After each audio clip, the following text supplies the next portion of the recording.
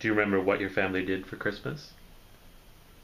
Well, we were all at home, and we put up a. The boys would go into the bush and cut down a, a tree, and uh, we'd set up the tree, and uh, we girls would decorate it. Um, and then uh, uh, we'd have the usual Christmas meal, you know, with uh, uh, turkey and and uh,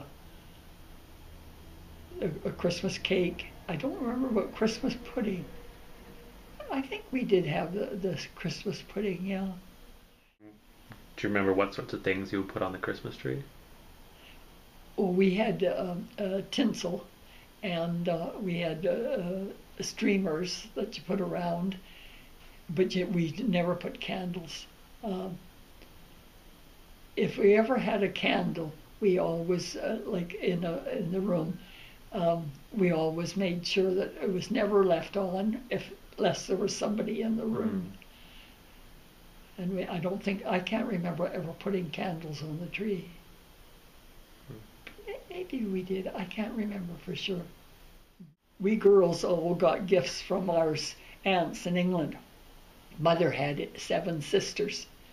Only one, uh, she and only one other married. The aunts would send us. Well, we had books uh, and uh, pictures when we were. Uh, I've got a, a picture in a frame in there. that I've had it ever since I was about eight years old, and. Um, uh, I suppose they sent some clothes.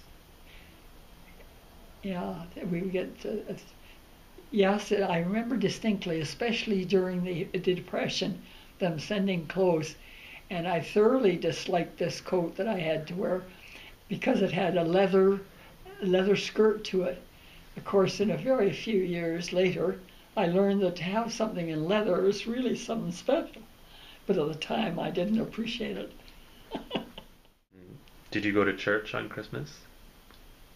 Yes, I think we would go into uh, to uh, the Anglican Church in Keyes. It'd be a, we'd have to have the car that day, and and if if it wasn't if the weather was made it reasonable, we would go. You know, Would you go Christmas Eve or Christmas Day?